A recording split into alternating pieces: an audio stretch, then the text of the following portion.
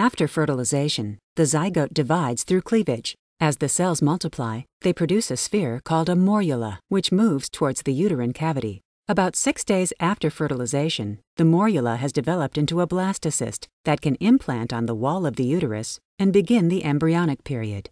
The developing cells differentiate into layers that give rise to structures. By the fourth week of development, the embryo has developed into an oblong body that further develops limbs, vertebrae, and organs. By week 10, the embryo is a fetus. Growth is supplied by nutrient rich blood passing from the placenta through the umbilical cord. Over the course of about nine months, or 36 weeks, bones, muscles, skin, and connective tissues form, body systems develop, and limbs and facial features take shape.